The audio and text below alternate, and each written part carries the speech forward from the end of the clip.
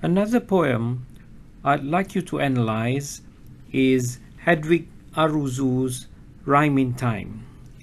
We can do this by asking a few questions about the poem, such as How do you analyze the poem?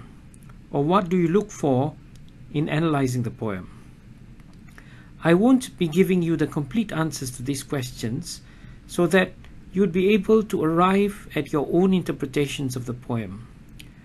Although we'll still be looking at the technicalities of the poem, we'll be looking more at the content of Aroozoo's poem when compared to the technical analysis of the stanza in Leong's poem in the previous clip.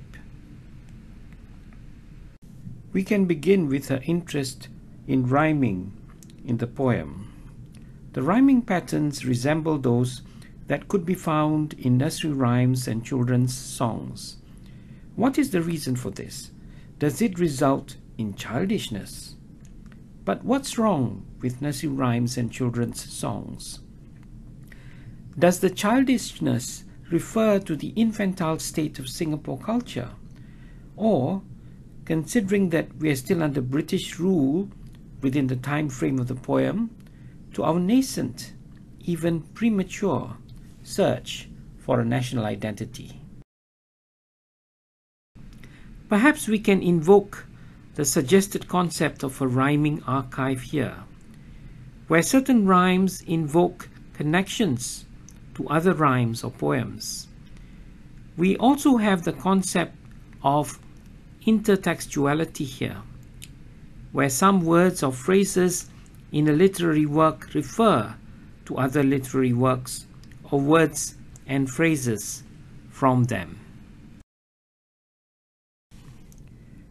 T.S. Eliot's The Waste Land is a poem that can be used as a reference point for Aroozoo's poem. Aroozoo's poem, in fact, begins with the line Fragments of a Wasteland. The Wasteland makes numerous references to texts in several languages. To appreciate Eliot's poem, Knowledge of all the references is not absolutely necessary, but they do help us to understand the poem better.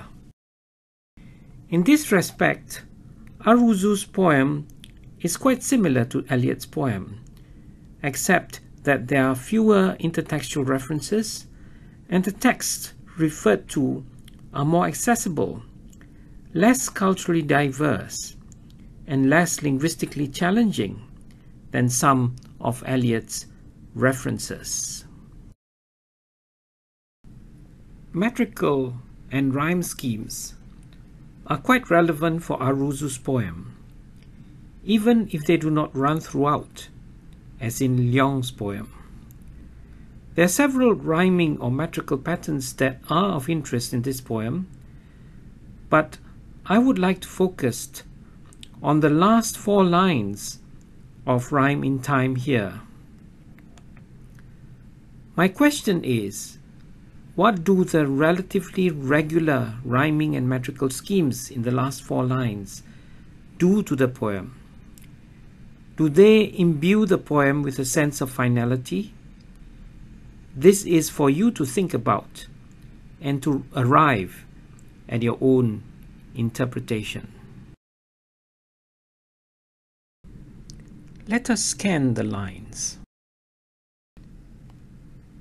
And now, from western windows only, a pale, uncertain light is shed. Merdeka's chant comes faint and slowly. But eastward, look, the stars flame red. Except for the extra syllable at the end of the first and third lines. The metrical and rhyme schemes are fairly regular. So what does this regularity in the last four lines do to the poem? Do they imbue the poem with a sense of finality? This is for you to think about and to arrive at your own interpretation. Of course, the sense of finality cannot be judged by looking at the lines in relation to the sound patterns by themselves. If we look at the first two lines, the wonderfully ambiguous phrase, Western windows, refers to both the sunset and the Western colonial powers, the British in this case, who are facing their uncertain imperial sunset. This is contrasted with what is happening in the East, with the struggle for independence indicated by the Malay word merdeka and the rise of communism indicated by the stars that are flaming red. The word red here, punctuated by the rhyme, is supplanting what is being shed by British imperialism.